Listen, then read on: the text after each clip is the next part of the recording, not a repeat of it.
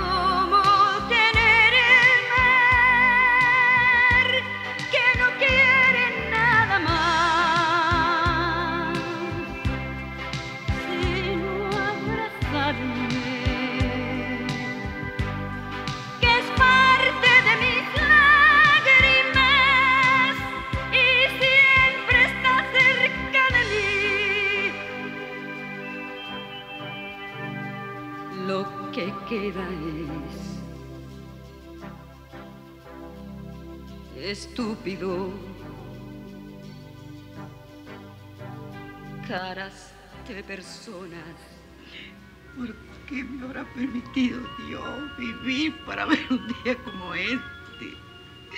Mi pobrecita niña Mariana, irse así como perseguida, Dios, y, y la vi todo por ese muérgano. Pero mamá, ya está, ya está. ¿Ah? Tampoco es que Marian se fue a un campo de concentración. Va a seguir estudiando. Se va al extranjero. ¿ah? A Malaya, quien pudiera viajar. Mire, yo quisiera viajar hasta Almena y Mimitico, hasta la frontera. Estudia ni que nada, muchacho. Se va por culpa de que le hizo el muérgano ese el ingeniero. Tú estás loco, Francisco Javier. ¿Qué? ¿Qué? ¿Qué estás diciendo tú, Lena? ¿Qué le hizo Mauricio a Marián que ella no nos lo dijo? No, nada, madrina. Nada. Lo que pasa es que mi mamá está, está nerviosa, pues, está triste. Me figurece que es tanto que hasta le tuve que preparar té. Lo que pasa es que ella está muy, muy triste porque según ella, Marian se fue por culpa de Mauricio. ¿Cómo? Según yo nada, muchacho. Según lo que ven mis ojos. Y los ojos de todo el mundo. Mire, que no se dan cuenta. Venga acá, venga acá, venga, tome. Llévese a Marian para allá, para el patio, para que vaya a jugar con los perros. ¿eh? Ella te está esperando, Tabay, Y usted déjese, está metiéndole cosas raras a los padrinos. Ah, ¿qué? Váyase con la niña ya más y no se meta. Ese es mi dolor a mí. Venga, sí, vámonos para adentro.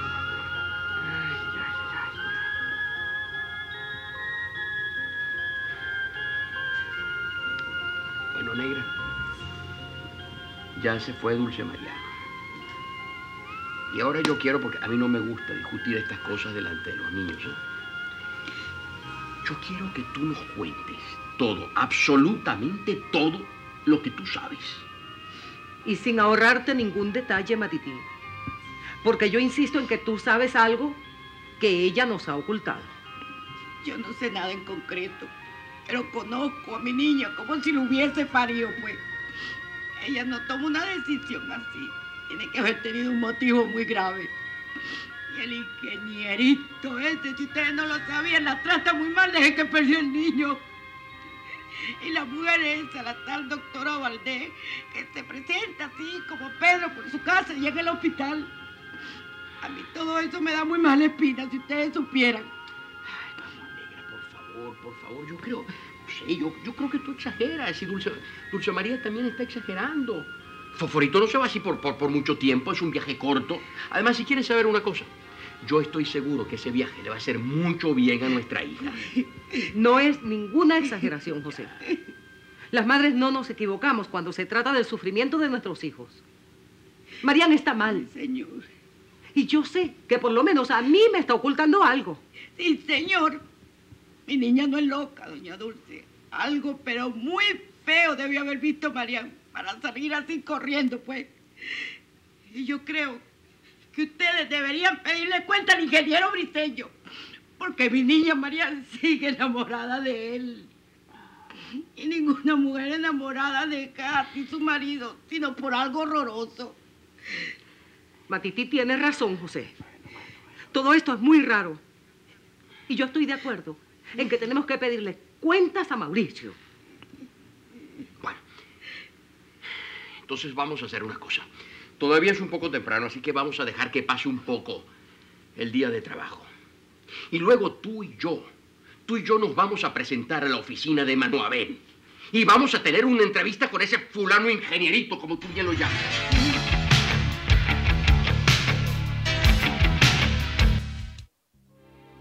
Apartamento más bonito. Este no me gusta nada. Ay, pero recuérdate, Asdrúbal, que ahora lo que necesitamos es un apartamento para mudarnos, y yo. Además tiene tres habitaciones, suficiente para nosotras dos. Sí, creo. pero no es tan bello como tú. Ay, pero lo vamos a poner bien bonito, ya vas a ver. Mira, tiene tres habitaciones. Una para mí, otra para Katiuska. Y la tercera la convertiremos en estudio. Ah, en estudio. Ajá, ajá. ¿Y por qué en vez de convertirla en estudio no me alquila a mí que soy un hombre solo, triste y acongojado? Deja la payasería, Asdrúbal.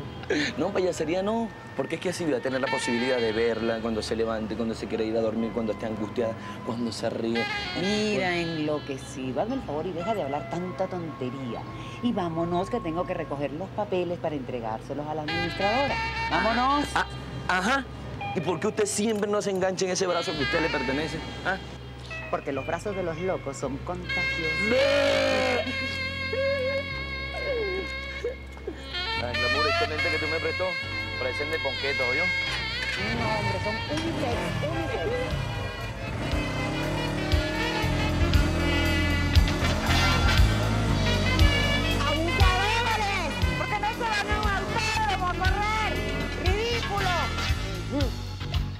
Mire la vida que está llevando la Ivanita esa después que se estiró los pellejos. Cada cual escoge la vida que le hace feliz, Carmen. Da la impresión de que usted se siente muy contento de verla así montada en esa moto, porque ha puesto una cara que ya le digo. Lo que sucede, Carla, es que me alegra mucho que Iván haya recuperado su belleza. Porque eso la va a ayudar a ser feliz.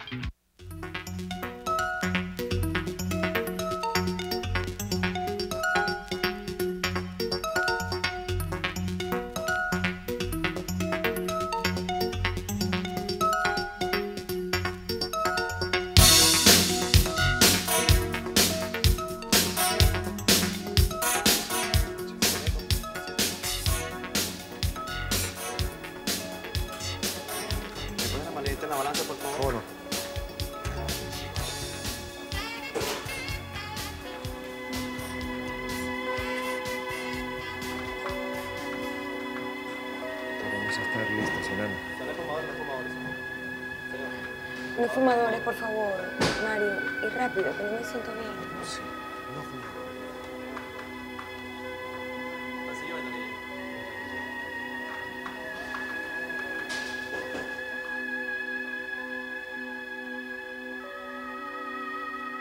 Yo no soy amiguita de nadie, Mariana. Y si a una mujer le molesta ver ciertas cosas, debe tener personalidad y no rebajarse siguiendo a su marido. Cállate, Yana. No empeores las cosas.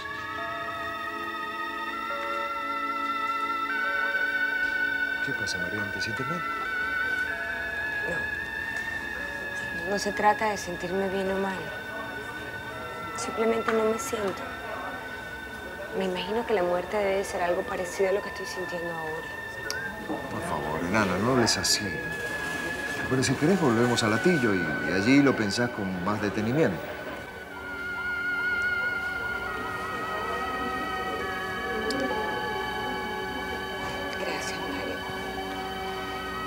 Por ser tan bueno conmigo.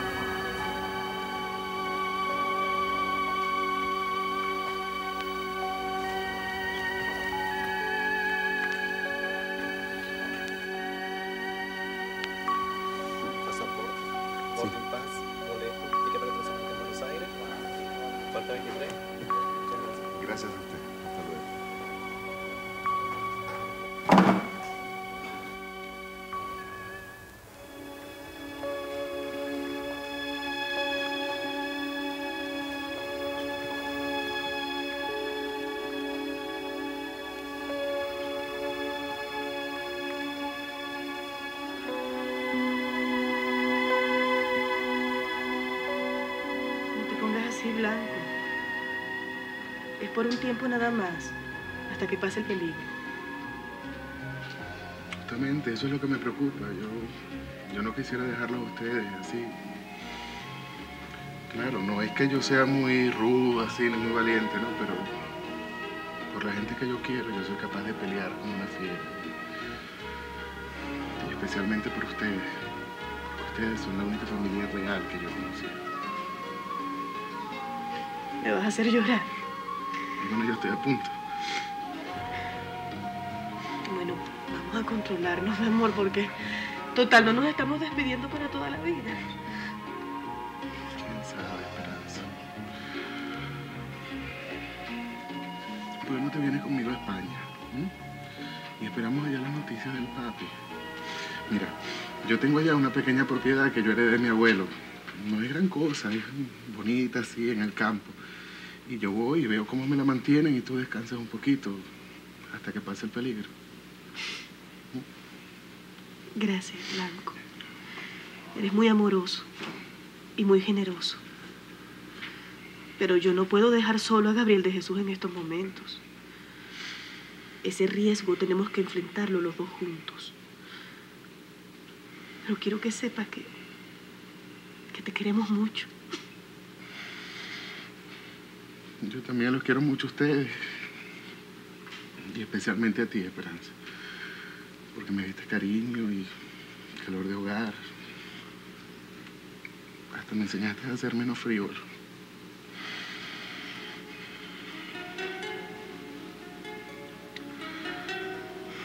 No, mira, Esperanza, yo lo siento. Yo. Yo esta vez no te voy a obedecer. Yo no me voy. Yo me quedo aquí con ustedes y yo voy a correr la suerte que ustedes corran. Pero Blanco, Blanco, eso no es justo. Hasta, hasta el cheque de la liquidación ya, ya está hecho. y Yo no me siento capaz de arriesgarte por un problema tan grave que además no te pertenece. ¿Cómo que no me pertenece? Escúchame bien, Esperanza. Te he dicho montones de veces que ustedes son mi única familia. ¿Ah?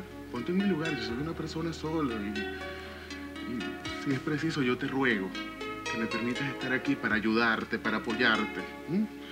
Sobre todo ahorita, que es el momento donde más necesitas a tu lado a la gente que te quiere.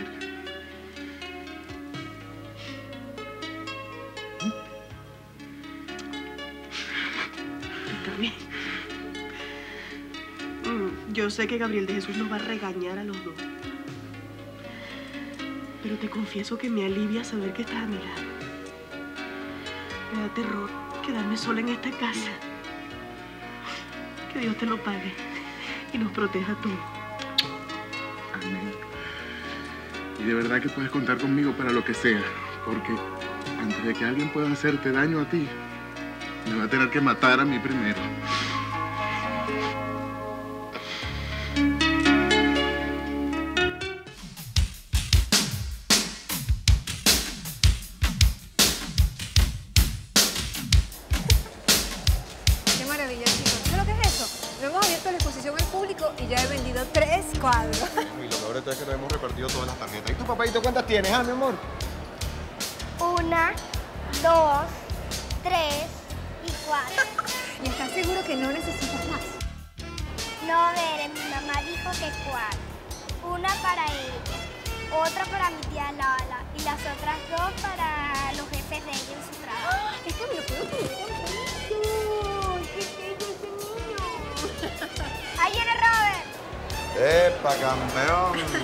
Caramba, ya te íbamos a dejar.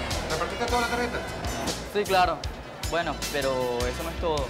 También le solté la bomba a mi papá. ¿Cuál bomba?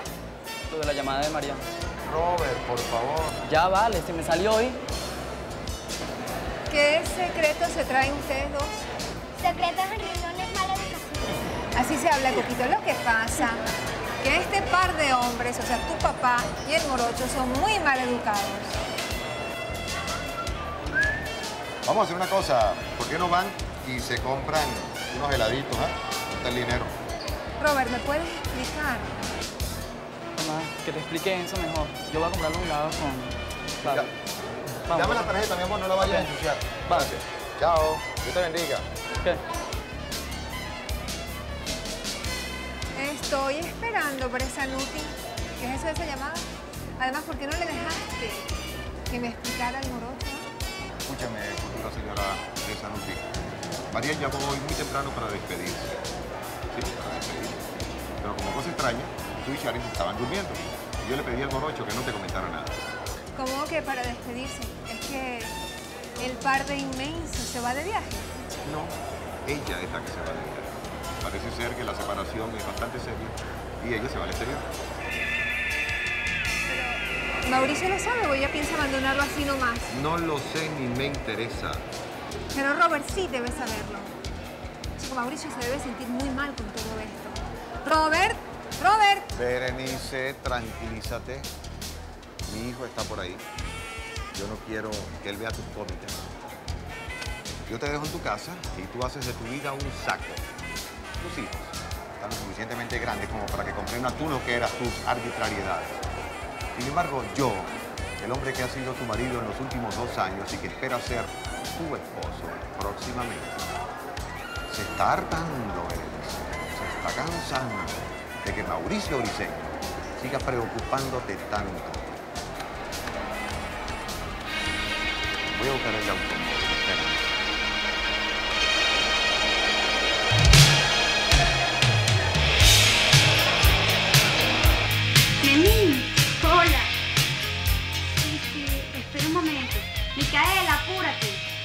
Memín que te llama de los Estados Unidos.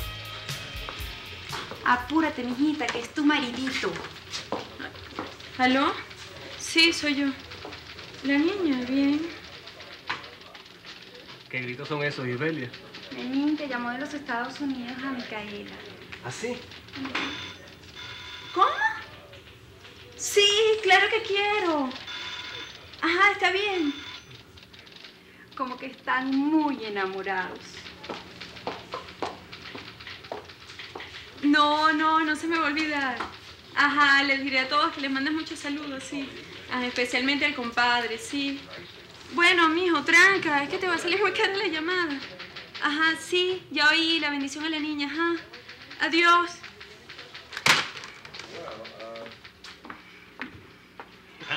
Por la sonrisa como que son buenas noticias del compadre. Sí, además diría que maravillosa. Eude, mami me pidió que lo perdonara. Estaba consciente que había hecho mal. Está arrepentido. Me quiere, Eudes me quiere, no hay duda. Cuánto me alegro que el compadre haya recapacitado, que haya recobrado la cordura. En el fondo, yo pensaba que le iba a votar por la borda. Una felicidad que le puede proporcionar una familia tan hermosa. No solamente me dijo eso, sino que quiere que nos vayamos con él, las dos. Esperanza, Judy y yo, las dos. ¿Y cuándo se irían? Bueno, no sé, a mí me dijo que ya habían enviado los pasajes y que estaba arreglando, no sé, una cosa con la embajada, unos trámites, no sé. Hoy es uno de esos días en que uno se reconcilia con la vida. Comparto tu felicidad, Micaela. No sabes lo preocupado que me tenía el problema de ustedes dos. Lo sé. Nunca podré pagarte todo, todo lo que has hecho por nosotros. ¿Me permites? Bueno, yo voy a hablar con Mauricio para que te arregle la liquidación y bueno, te voy a organizar una fiesta de despedida. Vas a ver que vas a ser muy feliz. Y bueno, no te vas a ir pitando para ir para casa de Memín, ¿no? No, no. No sé, será cuestión de unos días, ¿no? Bueno, todo así para que me dé tiempo de resolver las cosas. Espero que nos vayas a visitar. No te olvides de tu ni de mí.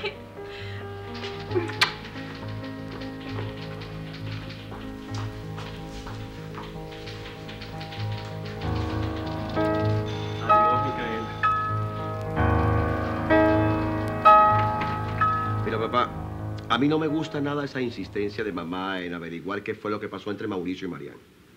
Yo creo que no hay ninguna razón para que ustedes vayan a salir ahora a hacerle un interrogatorio. Los problemas entre ellos son exclusivamente de ellos y nadie tiene por qué meterse, papá. Mauricio, no, tú sabes perfectamente, Hernán, que no es así. Los problemas de uno solo de la familia Costa son problemas de todos los de la familia Costa. Si tú hubieras tenido problemas con la famosa francesa esa con que te casaste, también nos hubiéramos metido. Y créemelo, no por metiches, no por entrometidos. Por amor, Hernán, por amor a nuestros hijos, ¿entiende? Nosotros agradecemos el amor, papá. Pero si Marian no quiso decir lo que le pasaba, ustedes no tienen por qué ir a someter al pobre Mauricio a un interrogatorio policial. Mira, yo sé cómo es mamá y sé cómo te pones tú cuando se trata de Foforito. Pero tú sabes que Foforito es muy cerrada. Y posiblemente yo no se lo siento aquí. Yo sé que está sufriendo mucho, ma... pero, pero, pero por Dios. Bueno, pero de la misma manera puede ser algo pasajero. Y si ustedes se meten, pueden complicarlo mucho más. De todas maneras, no sé, hagan como crean conveniente. Yo por los momentos, papá, lo que quiero es que te ocupes, por favor, que te ocupes junto conmigo de los asuntos de la otra. Ya Mario no está. Y necesito mucho más tu apoyo, papá. Pero un momento, ¿qué me quieres tú decir? ¿Es que está sucediendo algo que no sea normal en la compañía? Es que hay una cuestión de, de- de depósitos de dólares en, la cuenta de la compañía que no están muy claros, padrino. Bueno, usted se acuerda. claro, claro que me acuerdo. Sí, exactamente es así, papá. Mira, aquí están los balances, papá. No sé, todo eso es muy raro. Cuando le pedimos explicaciones a Céspedes, nos contestó así de manera muy altanera y hasta con amenazas. Y lo más grave del asunto es que esta mañana estuvo en el banco y ya ha habido movilización de dinero en grandes cantidades. No, yo también estoy bien preocupado por eso. Sería bueno saber de dónde salen esos dólares que el señor Céspedes está depositando en la cuenta de la compañía. Pues sí, señor, sí. Yo creo que lo primero que vamos a hacer es tener hoy una entrevista con Céspedes, el famoso doctor Céspedes, sí, señor. Bueno, y vamos a dejar para luego la visita a Mauricio. Y ya, ya veremos qué es lo que está sucediendo entre Mauricio y Foforito, entre ese par de locos.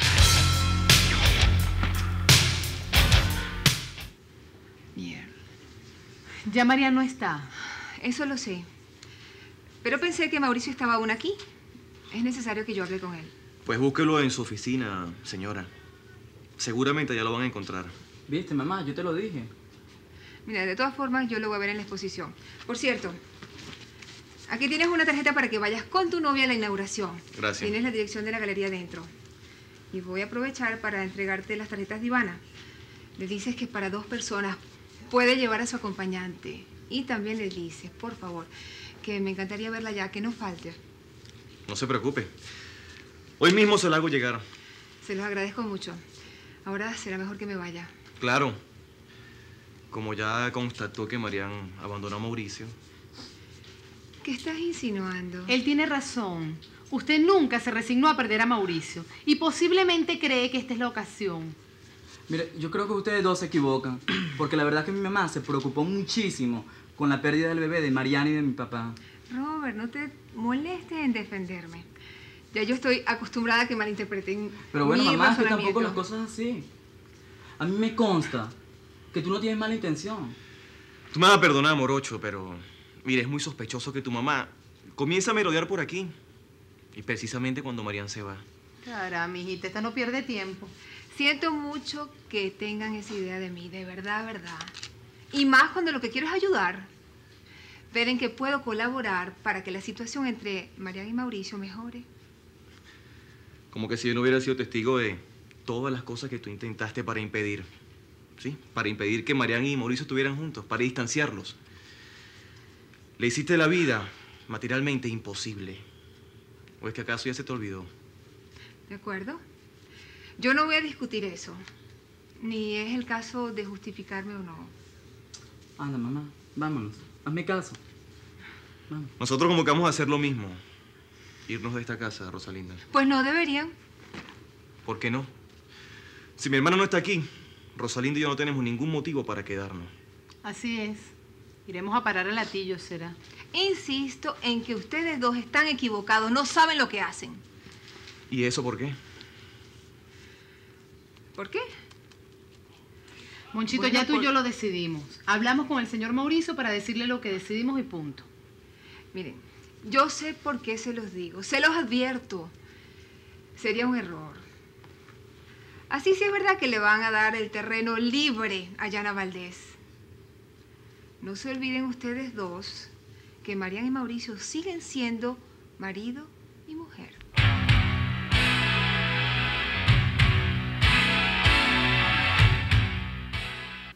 Pase adelante, señora Begoña, siéntese. Gracias.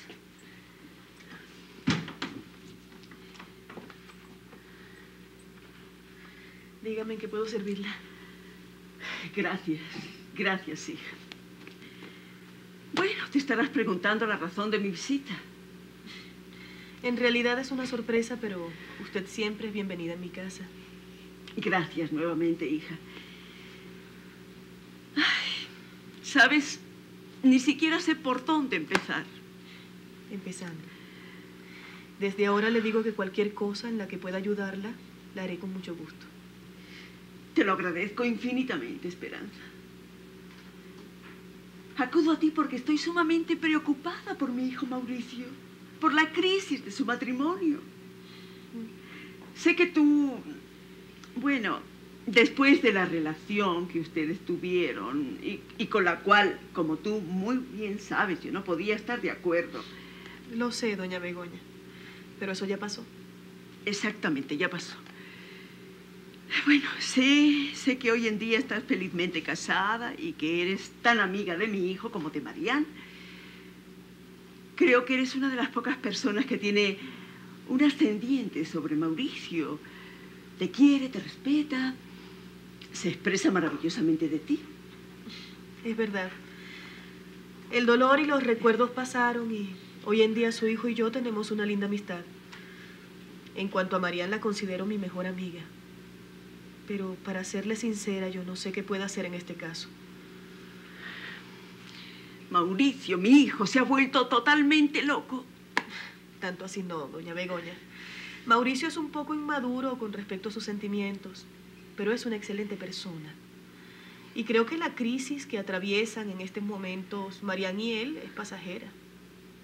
Cuando Mauricio recapacite, cuando se calme su dolor, sobre todo el dolor por la pérdida del niño, se dará cuenta de que está actuando injusta y hasta infantilmente con Marian. Le pedirá perdón. Porque con todos sus defectos, Mauricio sabe pedir perdón y ama mucho a su esposa. Es que no, no, no, no. Las cosas no son tan fáciles como tú crees. Es que han sucedido cosas gravísimas. Marian se fue del país. ¿Cómo que se fue? ¿Eso es un disparate? Si Marian está convaleciente todavía, ¿cómo es posible que Mauricio le haya permitido viajar? Es que Mauricio no sabía nada. Se fue sin avisarle.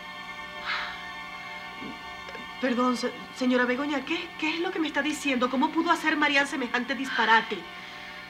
Me duele y me avergüenza tener que confesártelo. Pero mi hijo se lo buscó. La engaña con otra mujer. Marian los encontró juntos. Doña Begoña, yo no puedo creer eso.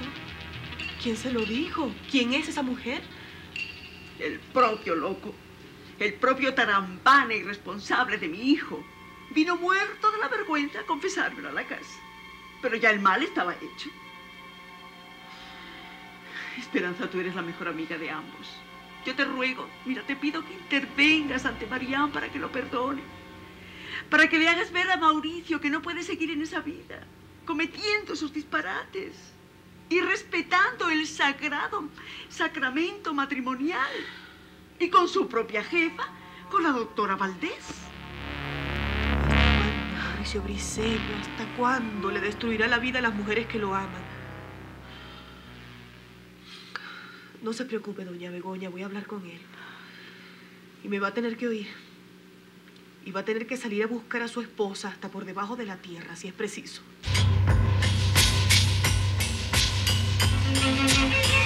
Pero ¿dónde está Marian? Ustedes tienen que saberlo.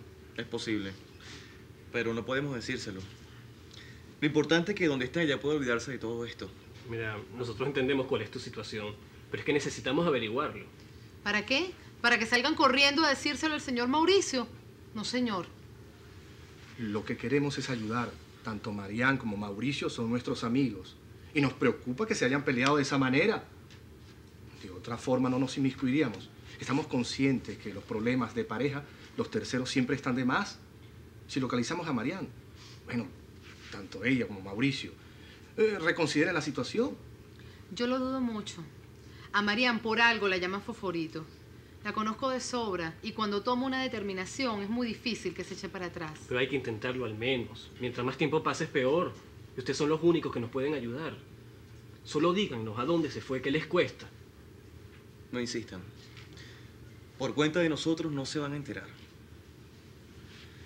Mauricio siempre me ha dicho que tú eres un muchacho maduro y juicioso. Te tiene una gran estima. Se expresa muy bien de ti. ¿Y eso qué tiene que ver con lo que estamos hablando ahora? Sí tiene que ver, porque tienes la ocasión de ayudarlo. Puedes darle la ocasión de corregir un error si lo cometió. Desde hace tiempo se ha debido dar cuenta. Pero desde que Marian tuvo el accidente y perdió al niño, él se la pasaba todo el día con una carota. Apenas hablaba. Y eso sí estaba aquí en la casa, porque esa era otra, no paraba en la casa. Bueno, para nadie es un secreto que a Mauricio le pegó mucho el perder ese hijo. Y a mi hermana. Precisamente en ese momento ella necesitaba todo el apoyo de parte de Mauricio. Y él se lo negó. Bueno, por lo visto todo es inútil. No importa. Como sea, lo vamos a averiguar. Y en cuanto a ustedes, si es demasiado tarde, tendrán su cuota de responsabilidad. ¿Entendido?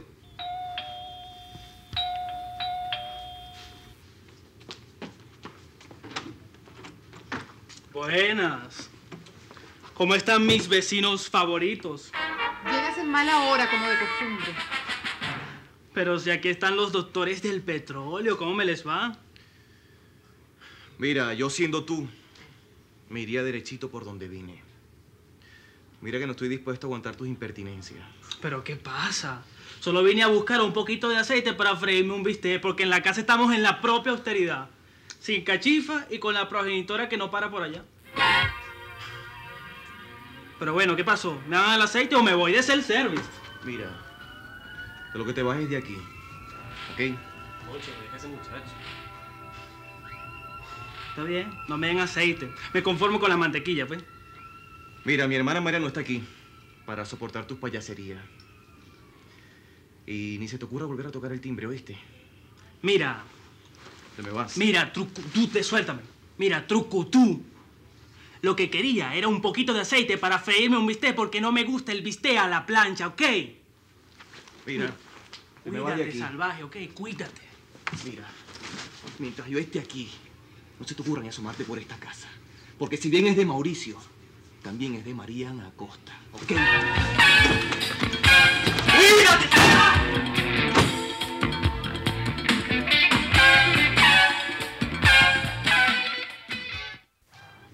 Estamos aquí porque quisiéramos hablar con el doctor Céspedes. Y por supuesto que con usted también, que es su representante legal en, esta empresa, ¿no? Siéntense, por favor. Muy amable. Está en su casa, don José. Gracias, señora, gracias. Y puede venir cada vez que le plazca. Somos gente humilde, pero tratamos de atender a los amigos y a los socios como se merecen. Papá quería plantearle a Céspedes algunas novedades en relación al negocio de la otra. Bueno, le repito que puede hablar todo conmigo, don José. Es como si usted estuviera hablando con Rodrigo. Y ¿No sería posible que mi padrino hablase directamente con el señor Césped? Mire, usted perdone, señora, pero yo ya soy un viejo, ¿sabe? Y créame, me cuesta, me cuesta mucho trabajo hablar de negocios con una, con una mujer. Yo preferiría tratar esto directamente con el doctor Céspedes. Bueno, seguramente hay algún malentendido, don José. Los negocios de Rodrigo y míos son con su hijo Hernán y no con usted. Era, mi querida señora, era así. ¿Qué quiere decir usted? Pues que mire, el señor Mario Blutrach tuvo que salir eh, con cierta urgencia del país y me dejó encargado de, de sus acciones. Así que como usted verá, pues eh, sí hay cosas de negocios que nos unen al doctor Céspedes y a mí. Y estoy aquí precisamente, mire, porque quisiera, quisiera que me dieran algunas explicaciones que me aclararan digamos, la, la panorámica de nuestra empresa. Mm, tal vez yo pueda ayudarlo, siendo así la situación. Verónica, yo le estuve hablando a mi papá del asunto de los depósitos en dólares. Aquellos depósitos que tan preocupados me tenían y también a Mario le pareció así como que requería una explicación de parte de Céspedes. Y la que nos dio la oportunidad, pues, no nos satisfizo. Creo, Hernán, que esa explicación fue bastante clara. No creo que haya necesidad de más explicaciones. Tal vez ustedes no le aclararon bien a don José la cuestión. No, sí, explicamos, muy bien. Lo que pasa es que él quiere saber más detalles. Claro, claro. Creo que es así la cosa, ¿no? Sí, señor. Y ustedes perdónenme, pero lamentablemente ya yo no tengo tiempo para seguir hablando. Mi esposo me está esperando abajo. Así, mi estimada señora, que yo le agradezco que usted le pregunte al doctor Céspedes si es tan amable de recibirnos para hablar de, de este asunto. ¿eh? Y perdóneme, pero los acosta. Bueno, somos así.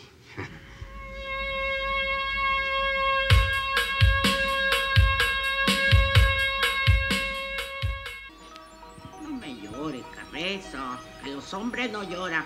Y si lloran, disimulan. Mira, Matiti, yo me siento tan triste que yo creo que me voy a enfermar. Ese problema de Mariano y Mauricio nos tiene a todos por el suelo. Mira, por el otro lado, el cuñado también está vuelto cereta. Él me imploró a mí con un, con un consuelo tan grande que le dijera dónde estaba Marian. Que a mí de poco no se me sale, Matiti. No, no, no, no, señor. El que le pega a su familia se arruina. Y usted, esto, usted tiene que estar de parte de su hermana. Porque es su sangre, mi hijo. Y porque ella tiene toda la razón. Y no miente ese zángano, a ese canalla que me desgració mi muchachita. Bueno, Matiti, mira. Él también está sufriendo. Ah, Él parece un sufriendo, alma en ¿no? pena, Matiti. Es alma en pena ni que nada, muchacho. Sinvergüenza es lo que es. Traicionero, un hipócrita que nos engañó a todos, haciéndonos ver que adoraba a mi muchachita. Él la adora. Él la adora a su manera. Pero la quiere. Pues su manera no sirve. Y lo que no sirve se vota, mijo. Ojalá mi niña se enamore en la Argentina y se case con el señor Mario. Ese sí es un hombre serio y responsable. Y además, mijo, usted sabe que el señor Mario la idolatra, pues. No seas así, vieja. Mira, desea más bien que ese problema se resuelva. Todos estamos mal. Claro, me duele más mi hermana. ¿Ah? Pero mira, el pobre cuñado tampoco está en un trono de oro. Mm, Eudes y Leonardo, ya no saben qué hacer con él. ¿Así? Sí, sí, la depresión lo está matando. Mira, si se averiguó dónde está Marian, la busca de inmediato. Mm, mm, que lo mate la depresión, pues. O lo que sea. Matiti, ¿qué es eso? Tú nunca has hablado así, Matiti. Pues que Dios me perdone, mijo, porque no se le debe desear la muerte a nadie. Pero es que el ingenierito ese, después que tanto lo defendí, mire que lo tengo trascado aquí, aquí, en pleno huelguero, mijo. Pues si está sufriendo, pues bien merecido que se lo tiene, mi amor. Si eso es verdad, lo de la sufridera, mi amor, porque para mí ese sinvergüenza ya se consiguió. Y tú sabes muy bien que consiguió quien lo consuele. Pues que sufra, amigo, que sufra.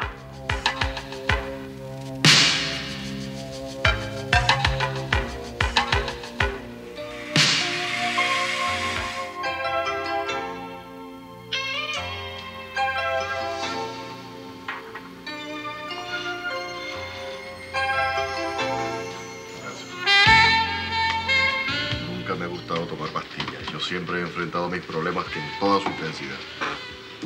Un antidepresivo no le hace daño a nadie. Yo que te lo digo. Ese estado en que te encuentras no es el más idóneo para manejar un monstruo como Manuabel. Si las soluciones vinieran en cápsulas, comprimidos y pastillas, la vida sería una maravilla, ¿tú no crees? Mauricio, Mauricio. Tienes que hacer un gran esfuerzo para salir del foso. Me imagino que es como dicen por ahí. Será cuestión de tiempo. Con permiso, ingeniero. Sí, Prudencia, ¿qué desea? Lo buscan los señores.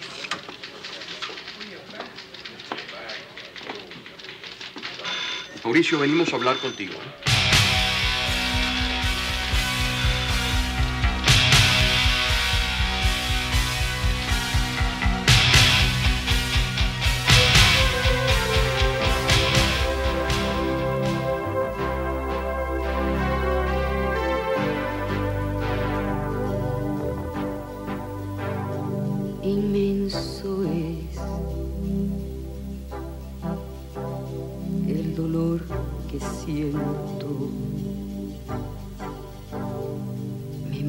El cuerpo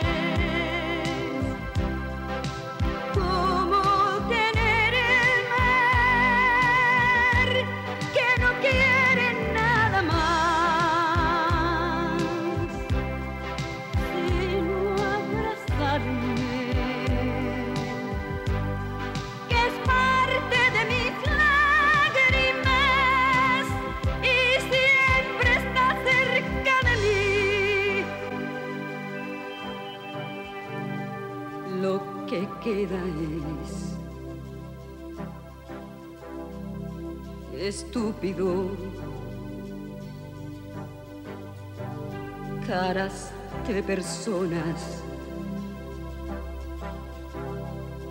que no son en un país. Se están matando inútilmente sin saber por qué